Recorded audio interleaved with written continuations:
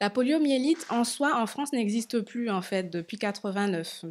Historiquement, c'est une maladie qui existe depuis très longtemps et il y a euh, notamment des, momies qui ont été retrouvées avec des séquelles de poliomyélite. Donc c'est une maladie très ancienne et c'est une maladie qui, qui est potentiellement mortelle puisqu'elle provoque des paralysies. Donc au mieux, on peut avoir une paralysie d'un membre et être, euh, être juste handicapé. Au pire, la paralysie peut toucher le système respiratoire et euh, donc entraîner une mort par asphyxie. On sait que de 88 à, on va dire, 2016, euh, les cas de polio sont passés de environ 300 000 dans le monde à 37.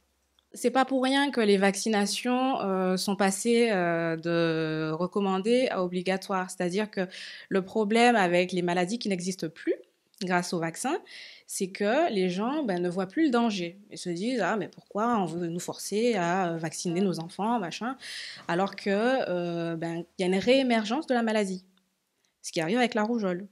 Donc l'intérêt je pense, à respecter les calendriers vaccinaux et à faire vacciner ses enfants, c'est que justement, il n'y ait pas de réémergence de la poliomyélite.